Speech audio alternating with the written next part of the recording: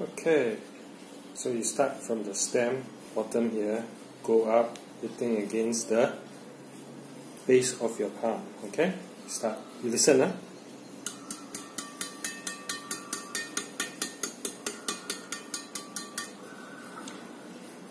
So this is the sweet spot of my current racket. Size also you can do.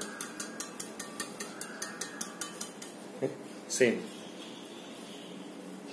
So basically, stem straight up and down. You will hear the sound.